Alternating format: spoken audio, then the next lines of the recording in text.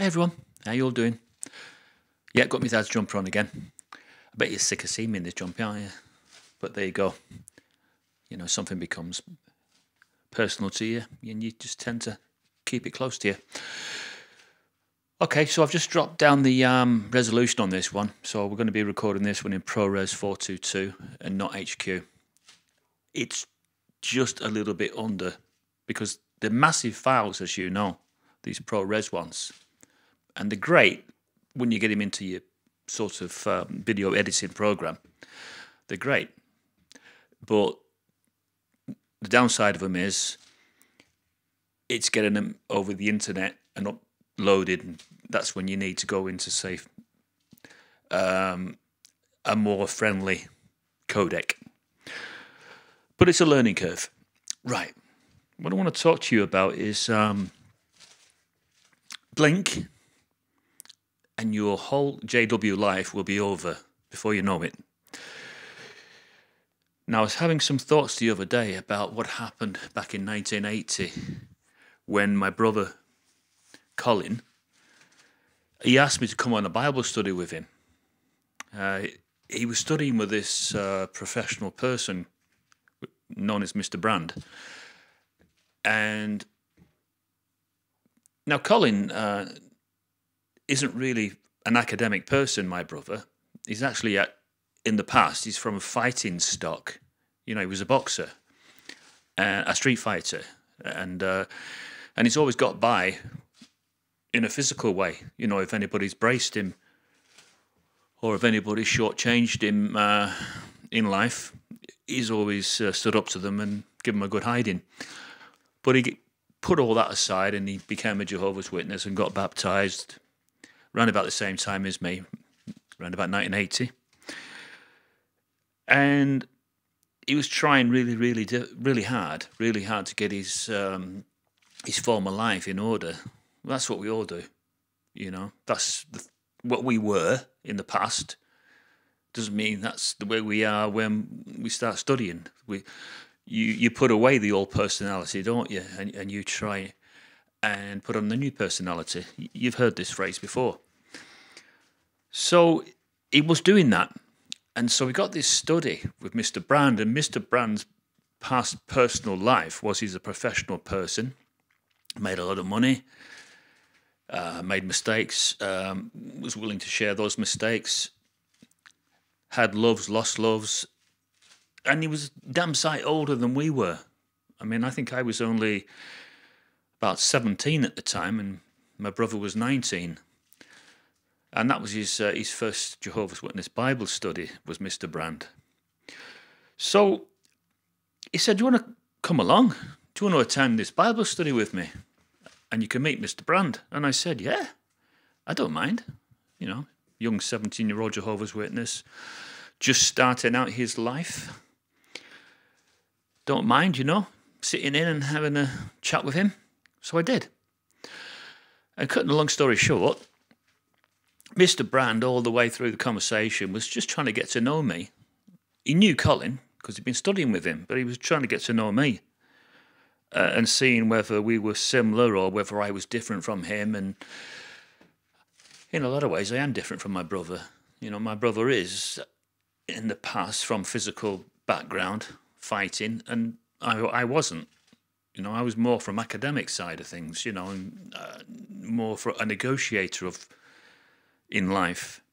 If uh, I ran into problems, I'd try and negotiate my way out of it. you guys are thinking, "Oh, Martin, you're just a coward."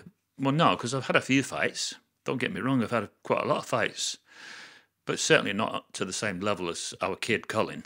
I mean, he was forever fighting back then. Anyway, I, I'm digressing again. Let's get back to Mr. Brand, Colin's study. So at the end of um, the study, and then we cl- and closed in prayer because you, you know you always finalize your study with a prayer, don't you? And Mr. Brand was willing to let Colin do a prayer, and which was really good of him because, to be honest with you, his intellectual ability was was tenfold compared to me and Colin. He knew quite a lot about life. He'd experienced life, and we were just starting out on our life. So yeah, huge difference. But I remember he said something to me that just stayed in my mind all this time. And uh, I, have just recently recalled it to my memory. He, and he said, Martin, I said, yeah. He says, Martin, um, don't take this the wrong way or anything like that, he said. And it's all said with um, a spirit of endearment. that's what he said uh, and no malice.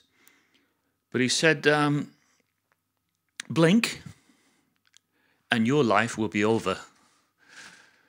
And th- your JW life, people, will be over as quick as that. You can't comprehend as a young person when someone tells you something like that that if you blink and you and you delay or making decisions. Before you know it, your life will be over. So you will. That means that you're going to have regrets about things that you could have done the right way and you chose not to. And uh, I've just recently thought about that. And it's only now, now I'm in my 60s, that I realise what he was saying. And he did say it um, certainly with no malice. He said it in, in, a, in a sort of uh, calm way and I suppose in a concerned way as well. Blink, Martin, and your life will be over. And that's exactly how I feel right now. I know I don't look maybe my true age, you know, because I've not smoked and I've never taken drugs and I've always tried to keep myself fit. But I do feel as if my life is now getting towards those what they call them is it the twilight years?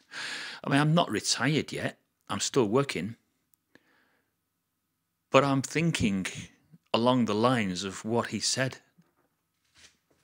Whereas 20 30 years ago i couldn't think like that. It was impossible to think like that. Uh, isn't it um, strange how our thinking can be can be turned upside down by simply getting wisdom and becoming older. And that's what does it. You get older, you see things differently. You get a sense of your own mortality. You, you start to believe that, uh, I suppose, in a way, you, you start to become more like King Solomon. I mean, King Solomon was the one that recognized that living your life without the inclusion of God in it is completely pointless. And I think about this, and, and, and I think if I was an atheist, right?